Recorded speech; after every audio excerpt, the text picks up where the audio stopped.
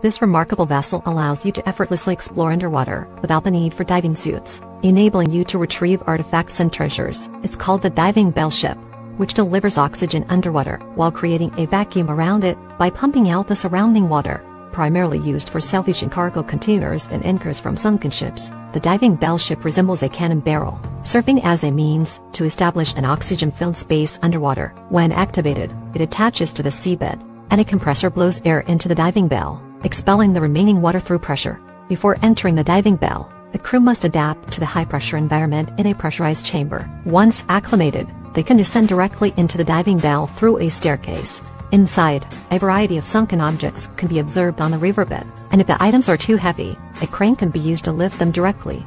Despite its futuristic appearance, this vessel was actually built as early as 1973, boasting a history of 50 years. It primarily operates in Europe's busiest waterways, salvaging valuable items from accidents in the Rhine River.